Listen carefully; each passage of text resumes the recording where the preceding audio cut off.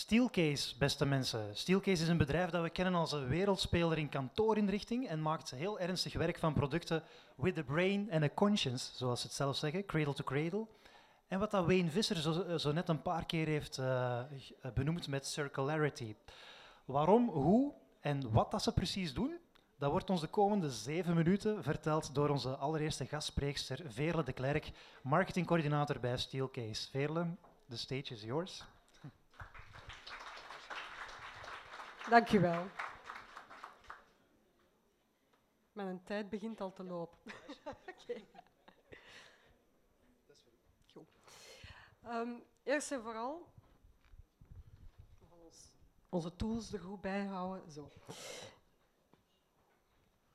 Voilà. Um, Steelcase um, kennen jullie hopelijk. Hè. Het is een Amerikaans bedrijf. We bestaan eigenlijk uh, 100 jaar, sinds uh, vorige vrijdag. Dus uh, de nummer één producent van kantoormeubelen en dus werkomgeving specialist. En um, het is onze missie om eigenlijk gezonde werkomgevingen te creëren waar mensen hun ja, heel productief kunnen zijn en hun uh, creativiteit de vrije loop kunnen laten en zo mee een steentje bijdragen aan het resultaat van het bedrijf. Waarom is duurzaamheid uh, voor Steelcase een belangrijke topic? Uh, omdat wij uit onderzoek weten dat bedrijfsgebouwen bijvoorbeeld voor grotere CO2-uitstoot zorgt dan bijvoorbeeld transportmiddelen of zware industrie. Dat is eigenlijk verrassend. Ik denk dat de meeste mensen daar niet altijd bij stilstaan. Dat kantoorgebouwen zo'n impact hebben op mens en milieu. En omdat wij in die branche actief zijn, willen wij er op zijn minst voor zorgen dat onze producten een minimale impact of negatieve impact toch op mens en milieu hebben. Dus dat is het waarom. Um, hoe doen we dat? Um, we doen dat door duurzaamheid in onze volledige bedrijfsvoering uh, te integreren.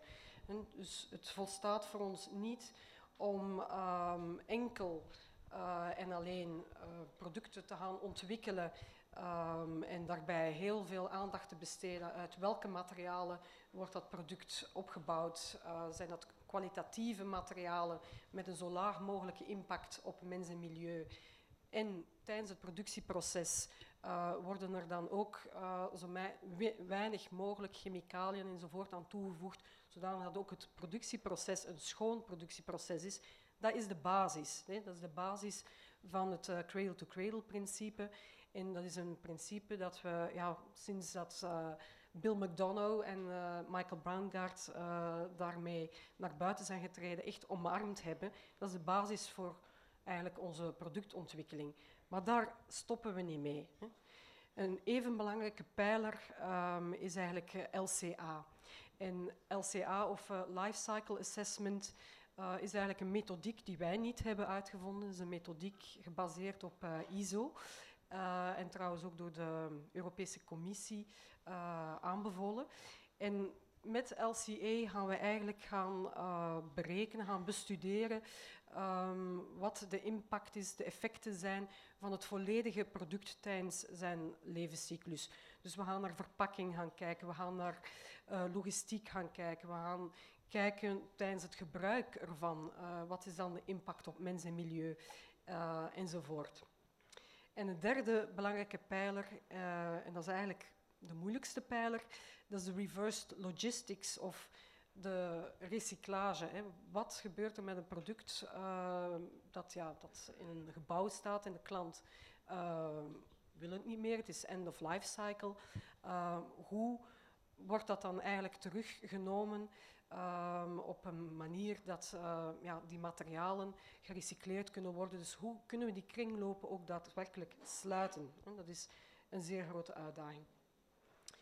Een voorbeeld van uh, een product dat dus al die etappes eigenlijk uh, doorloopt en, en dat uh, ja, een beetje het icoon geworden is van Steelcase, wat dus die duurzaamheidsaanpak betreft, is de Tinkstoel.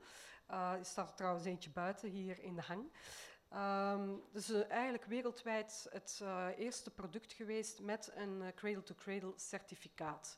En is voor ons eigenlijk het startschot geweest om al onze producten die sindsdien ontwikkeld zijn, ook uh, zoveel mogelijk cradle-to-cradle -cradle te certificeren en volgens die LCA-methodiek eigenlijk te berekenen. Een aantal andere voorbeeldjes hier op het scherm uh, tonen duidelijk aan dat we dus uh, niet alleen bezig zijn met die materiaalchemie, het analyseren van de materialen, maar dat we dus ook verder gaan kijken naar verpakkingen enzovoort. En dat is met al onze producten zo. Nu, de belangrijkste uitdaging, zoals ik daarnet al aanhaalde, is uh, die laatste etappe, hè, het sluiten van die kringlopen. En dat is ook iets dat we lokaal in de markt telkens moeten gaan bekijken. Wat zijn ook de lokale wetgevingen enzovoort. en, um, het, wij hebben hier in de Benelux bijvoorbeeld ja, de stap ondernomen om samen met MIP het Milieu- en Energie-innovatieplatform van de Vlaamse overheid eigenlijk een aantal pilots en, en proeven te gaan doen. Um, om te gaan kijken van hoe kunnen we inderdaad een steelcase product dat end-of-life cycle is op een duurzame manier terug uit de markt nemen. En er zijn verschillende pistes. We hebben verschillende scenario's uh, doorlopen. Uh, eentje daarvan is bijvoorbeeld uh, wegschenken aan een goed doel. Hè. En dan liefst een lokaal goed doel en niet op een container naar Afrika, bij wijze van spreken. Hè, want dan zijn we ook weer niet zo duurzaam bezig. Um, maar een piste die momenteel nog in vol onderzoek is, maar waar dat ook weer waarschijnlijk een interessant economisch businessmodel aan vastzit, is het hergebruik van uh. Want heel vaak is het ook zo dat uh, ja, helemaal nog niet op end-of-life cycle is wanneer een klant bijvoorbeeld al wil gaan vernieuwen. Hè. En uh, we zijn onder andere met NOF al gaan praten. Um, dat is trouwens de volgende spreker, die daar een heel interessante business case rond gebouwd heeft. Voilà, dat was het voor mij en ik denk dat ik net binnen de tijd ben. Dank u wel. Dank u wel, Veerle. Veerle, als jullie uh, blijven even staan, want ik heb nog een vraag voor u. uh, als jullie inderdaad koploper zijn in die evolutie, kan ik me voorstellen dat jullie de overheid vaak tegenkomen. Wat kan de overheid doen om de weg te banen uh, voor dat soort evolutie? Um, ja, wij hebben inderdaad onder andere met dat MIP-traject uh, heel de Benelux-markt zo wat proberen in kaart te brengen. En wat we bijvoorbeeld vastgesteld hebben, is dat in Nederland uh, ook omdat de overheid daar meer een sturende partij is, dat er veel meer bedrijven um, gebruik maken van um, ja, bestaand meubilair, gerefurbished uh, meubilair. Dus daar is gewoon een, een, markt voor. Er zijn veel meer bedrijven die uh, niet meer ervoor kiezen om nieuw meubilair te kopen, maar dus uh, ja, bestaand meubilair dat al een keer gebruikt geweest is, maar terug opgefrist is, om dat te gaan inzetten. En uh, de overheid daar speelt daar een, echt een sturende rol in. Om die markt aan te zwengelen, zeg maar. Hartelijk bedankt.